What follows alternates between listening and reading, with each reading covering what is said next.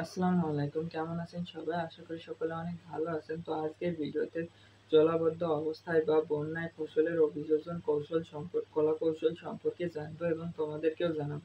তো চলো বেশি কথা না বাড়িয়ে আজকের ভিডিওটি শুরু করা যাক। তো এটি রয়েছে কৃষি শিক্ষা বইয়ের তেরাশি পৃষ্ঠায়। জলাবদ্ধতা অবস্থায় বন্যা ফসলের অভিযোজন কৌশল, ফসল উদ্ভিদ ছাড়াও অধিকাংশ ফসল বন্যা ও জলাবদ্ধতা মৃত্তিকা পানির উপকৃত অবস্থায় বেঁচে থাকতে পারে না, এ অবস্থায় মাটিতে অক্সিজেনের অভাবে উদ্ভিদ মূল শাসন কাজ চালাতে পারে না। যত দ্রুত মাটি বা পানির বিস্তারিত অক্সিজেন শেষ হয়, এ কাজ উদ্ভিদ তত দ্রুত মারা যায়।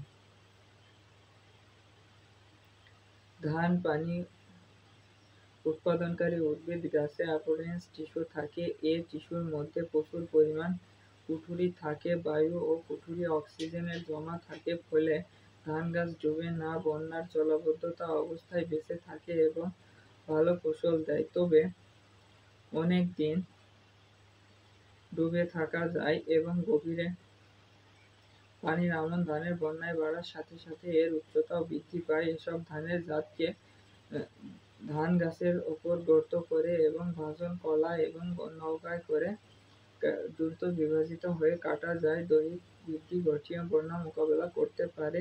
আর লম্বা জাতের ধান উচ্চতার কারণে বন্যা এড়িয়ে যেতে পারে। উচ্চ তাপমাত্রার অভিযোজন কৌশল। উচ্চ তাপমাত্রার ফলে সাইটোপ্লাজম এবং প্রসাধনের হার কমে যায়।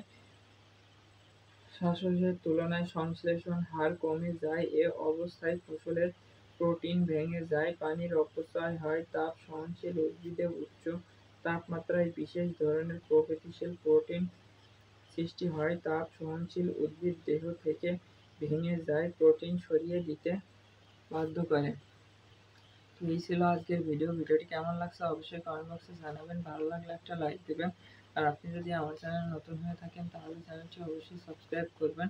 দেখা হচ্ছে পরবর্তী কোনো ভিডিওতে নতুন কোনো টপিক নিয়ে। ততক্ষণ সবাই ভালো থাকবেন, সুস্থ থাকবেন, নিজের খেয়াল রাখবেন। নিজের পরিবারের খেয়াল রাখবেন। আল্লাহ হাফেজ।